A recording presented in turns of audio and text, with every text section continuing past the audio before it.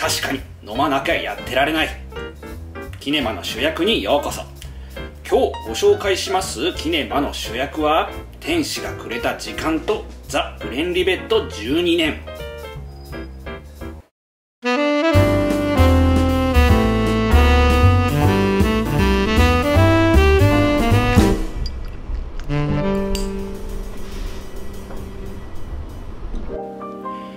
婚を誓い合った女性と別れその後仕事で大成功して社会的地位にお金といった全てを手に入れい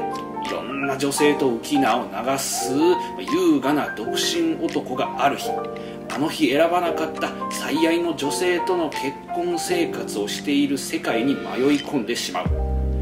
夫2人の子供の父親。そして貧しい暮らしに戸惑いながらも本当に大切なものに目覚めていく男を描いたこのロマンスドラマの中に登場するザ・グレンリベット12年を今日はご紹介いたします。1824年創業で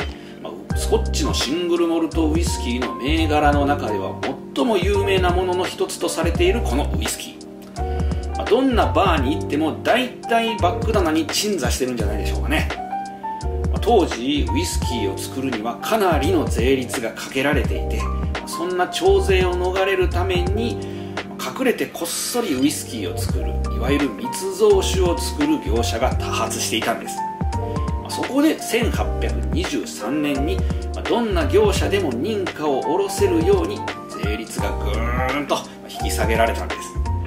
そこで合法的にウイスキーを作ることができる政府認可の第1号になった蒸留所がこのザ・グレンリベット蒸留所なんです、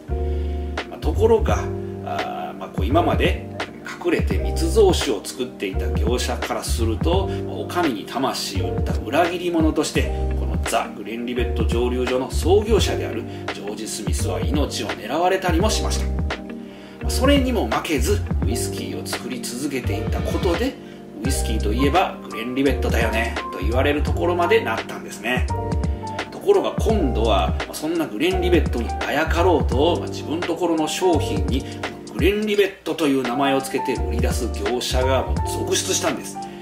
それに頭きたこのジョージ・スミスが訴訟を起こしその訴訟に勝利をして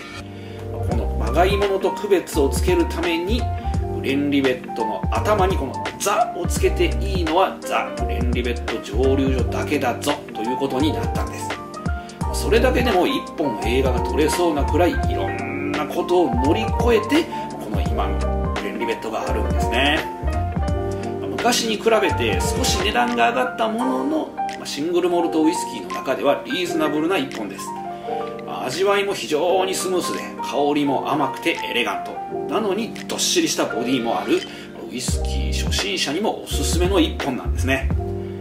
ロックにしても水割りにしてもソーダ割りにしても美味しくいただけるウイスキー界の優等生なんですね。そんなザ・グレンリベット12年が登場する天使がくれた時間。優雅な独身ライフから庶民の暮らしになってしまい戸惑いを隠せず自分の職場であるタイヤショップのオフィスのデスクをガラッとこう開けた時に引き出しの中からコロコロコロって転がってくるのがこのザ・グレンリベット12年なんです。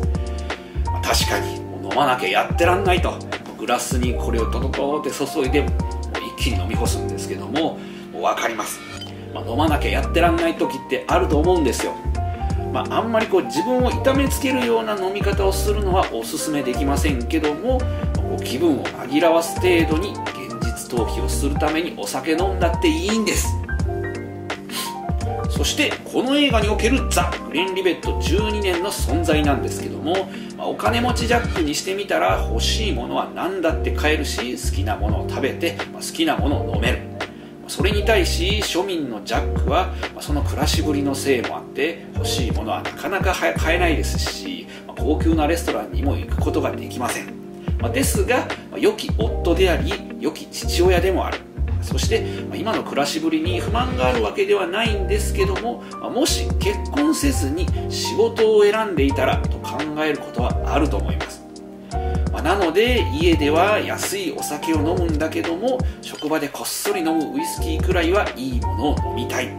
まそういう意味ではこのザ・グレンリベット12年は非常にコストパフォーマンスの高いウイスキーですので、まあ、ジャックにしてみたらもう精一杯の背伸びであったり、ま、今の暮らしに対するささやかな抵抗でもある。そして金持ちジャックの時と同じように本物志向であるという一面も垣間見せてくれる。そんなジャックのキャラクター性格をこのザ・グレンリベット12年が表してくれてるような気がする。そういう存在としてこのウイスキーが映画の中には登場しているんじゃないかなと感じたりもしました。映画の中にはたくさんのお酒が登場します。銀幕を彩るキネマの主役とともに素敵な映画ライフを。